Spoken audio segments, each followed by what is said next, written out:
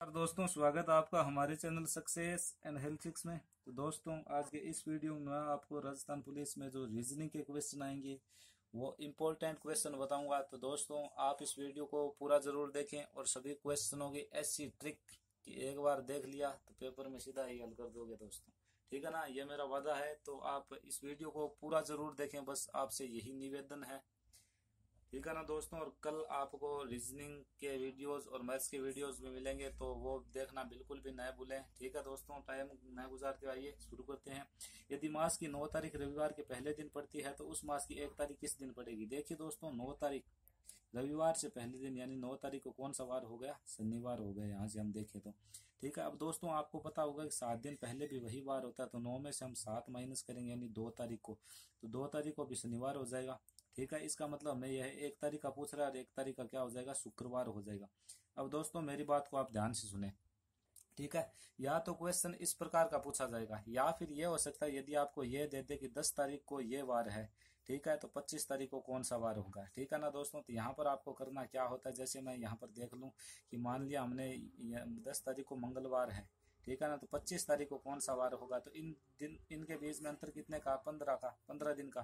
ठीक है, उसमें हम सात का भाग देंगे तो शेष कितना बचेगा? एक। ठीक है तो एक आगे चलिए। मंगल से एक आगे कौन सा वार हो जाएगा? बुधवार, यानी पच्चीस तारीख को कौन सा वार हो जाएगा? बुधवार। ठीक है ना? इस प्रकार के क्वेश्चन पूछेंगे। या फिर लेप ईयर या साधारण वर्ष का सिंपल सा क्वेश्चन पूछा जाएगा कि एक जनवरी 2013 को ये वार है तो एक जनवरी 2014 को कौन सा वार होगा? ठीक है ना दोस्तों? इस प्रकार के सिंपल क्वेश्चन ही पूछे जाएँगे। तो दोस्तों, चलते हैं अगले क्वेश्चन की ओर। यदि दर्पण में सात पैंतीस बजे हैं तो वास्तविक समय क्या होगा? दोस्तों, ये क्वेश्चन आने की पक्का संभावना है। ठीक है ना? दर्पण प्रतिबिंब से ये क्वेश्चन कई बार पूछा गया है तो दोस्तों देखिए आपको करना क्या है, जब भी आपको ऐसा प्रश्न दिखे तो आपको ग्यारह साठ में से घटा देना है। ग्यारह साठ यानी कि बारह बजे में से, ठीक है? अब दोस्तों बारह बजे में से आप घटाएँगे तो यहाँ पर पच्चीस और यहाँ पर चार चार बजकर पच्चीस मिनट आपका आंसर आ जाएगा। ठीक है, या मैं आपको इसकी सीधी सी ट्रिक बता दूँ पहले दोस्तों आपको करना क्या है, पैंतीस है, सात पैंतीस में कितना जोड़े कि नेक्स्ट घंटा पूरा हो जाए, यानी कि आठ बज जाए तो हमें चाहिए पच्चीस मिनट।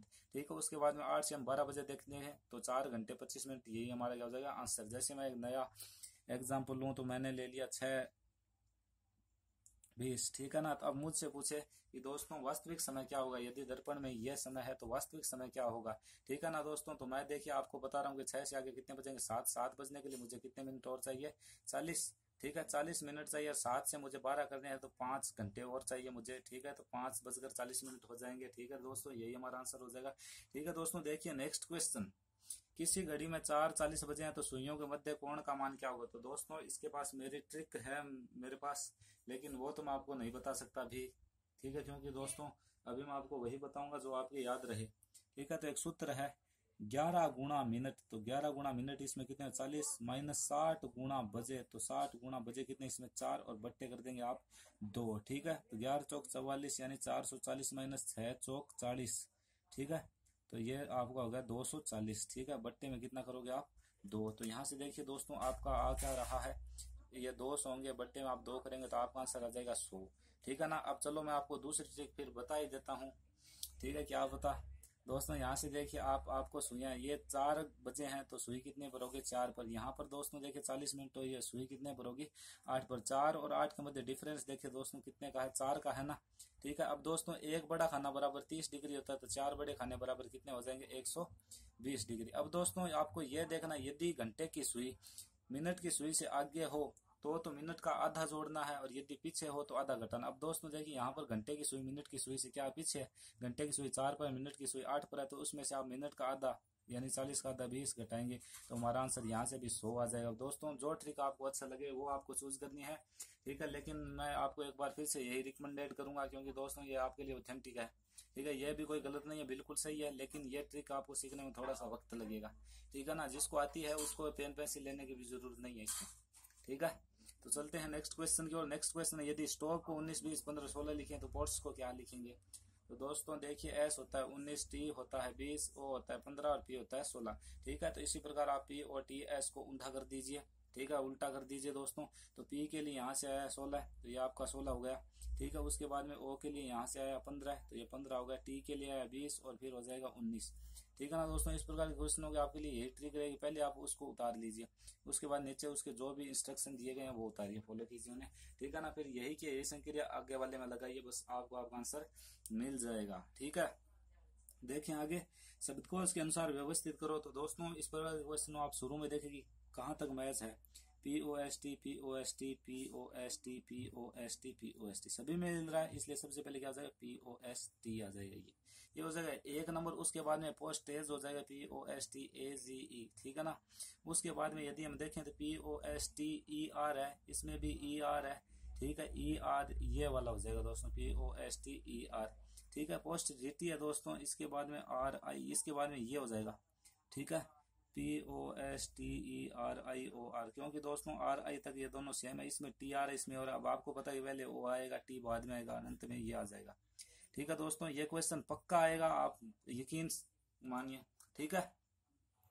देखिए दोस्तों नेक्स्ट क्वेश्चन बहुत ही ज़्यादा इजी है। पेड़ों की एक पंक्ति में पेड़ बाएँ छोर से एक पेड़ बाएँ छोर से सातवां और दाएँ छोर से चौदवा है तो पंक्ति में कुल कितने पेड़ हैं? तो दोस्तों, कुल पूछ रहा है तो आपको करना क्या? पंक्ति में बाई ओर से उसका स्थान कितना है? सातवां और दाई ओर से कितना? चौदह अब दोस्तों, देखिए, इसको दो बार गिन लिया है। बाई ओर से भी गिन लिया, दाई ओर से भी गिन लिया। यानी दो बार गिन लिया, इसलिए एक माइनस करेंगे। ठीक है ना? तो 21 में से एक गया, आपका आंसर हो जाएगा 20 इस प्रकार के क्वेश्चनों में दोस्तों, आपको करना है दोनों को जोड़ना है और एक घटाना एक बार फिर से देख लीजिए दोस्तों। कि ये एक घटाया क्यों है? क्योंकि एक को हमने यहाँ पर ये जो पेड़ है ना, एक पेड़, इसको हमने बाई तरफ़ से भी गिन लिया, दाई तरफ़ से गिन लिया, यानी कितनी बार गिन लिया? दो बार गिन लिया। ठीक है, इसलिए हमें इसको गिनना कितनी बार था? एक बार ही था, इसलिए हम इसमें से एक घटाएँगे। ठीक है ना? तो इक्कीस में से एक गया, हमारा आंसर हो जाएगा बीस। ठीक है, चलते हैं नेक्स्ट क्वेश्चन की ओर। तो दोस्तों, यहाँ पर देखिए क्या हो रहा है। चौबीस आठ एक सौ बीस, दो सौ दस, आगे पूछ रहा है ये कि क्या होगा। तो दोस्तों, देखिए तीन का क्यूब माइनस तीन करोगे तो आपके पास चौबीस आ जाएगा। चार का क्यूब माइनस चार करोगे तो आपके पास साठ आ जाएगा। पाँच का क्यूब माइनस पाँच करोगे तो आपके पास आ जाएगा बीस।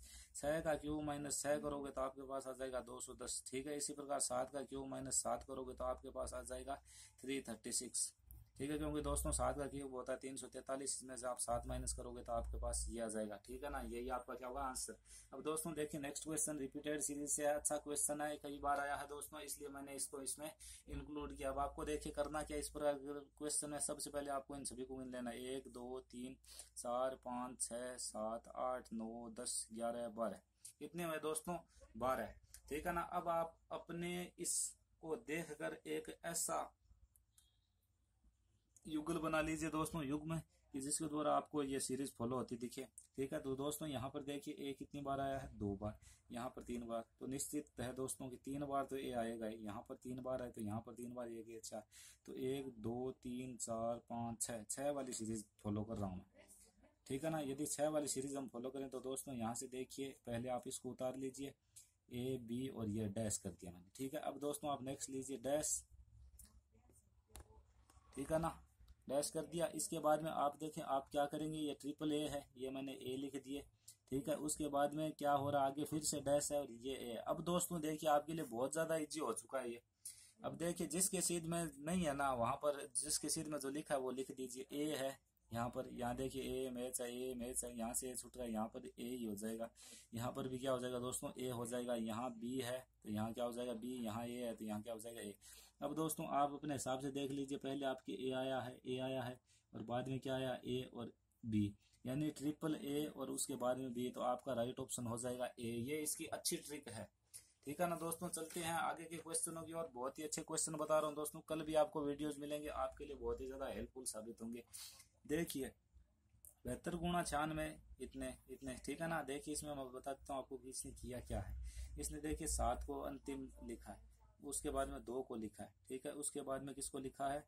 नौ को, ठीक है? और उसके बाद में किसे लिखा है? छह को। इसी तरह से इसने इसमें किया है, ठीक है? तो यही रूल हम यहाँ पर लगा देंगे दोस्तों। हमारे पास ये है ना seventy nine multiply eighty six. तो सबसे पहले हम करेंगे क्या दोस्तों? यहाँ से देखिए इसने क्या था, था ये जो शुरू का था ना इसे इसने कहाँ पर लिखा था? अंत में तो हमने भी अंत में लिख दिया इसे। उसके बाद में ये जो था नो इसको इसने इस साइड लिख दिया। ठीक है उसके बाद में इसका यहाँ पर जो नो था यानी कि मल्टीप्लाई के बाद में जो पहला अंक है इसे इसने तीन नंबर पर लिखा है। ठीक है तो मल्टीप्लाई के बाद में यहाँ पर हम इसे आठ लिख देंगे तो ये अच्छा यहाँ पर आ जाएगा। हमारा आंसर हो जाएगा दोस्तों सिक्सटी एट नाइन सेवन। ठीक है ना? चलते हैं नेक्स्ट क्वेश्चन की ओर। कुर्सी मेज फर्नीचर का वेन आरेख आप दोस्तों, किया ये है कि उसमें वेन आरेख आपको दिए हुए होंगे ऑप्शन वाइज ठीक है ना, मैंने आपको यहाँ पर दिया नहीं है, सीधा ही बता देता हूँ मैं आपको कि कुर्सी मेज अब दोस्तों, ऐसे क्वेश्चन में आपको करना क्या है, ये मैंने बना लिया। मानो कि ये कुर्सी का चेयर का सी लिख दिया मैंने ठीक है, उसके बाद में ये मैंने क्या बना दिया? टेबल या मेज बना दी। ठीक है टी लिख रहा हूँ इसका टेबल ठीक है, आपके समझ में आ गया। अब दोस्तों देखिए, कुर्सी कुर्सी है, टेबल टेबल है, ठीक है? लेकिन ये दोनों फर्नीचर के अंदर ही तो आते हैं, यानी लकड़ी से बने हुए सामान को हम क्या बोलते हैं? फर्नीचर। ठीक है ना? तो ये होगा दोस्तों आपका एफ़ तो इसका डायग्राम वेन आरेख इस प्रकार से हो जाएगा दोस्तों। ठीक है? यदि कुछ कुछ वाली स्थिति हो, ठीक है ना? तो वेन आरेख इस प्रकार से बनता है। ठीक है? आ गया समझ में? फिर दोनों ये उसमें आ रहे हैं तो इस प्रकार से बाहरी बन जाता है।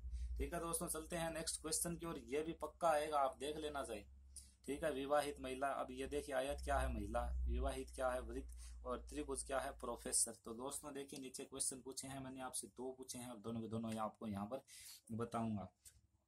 कितनी महिलाएँ प्रोफेसर है, किंतु विवाहित नहीं? ठीक है ना दोस्तों? गौर कीजिए, विवाहित नहीं। ठीक है ना? तो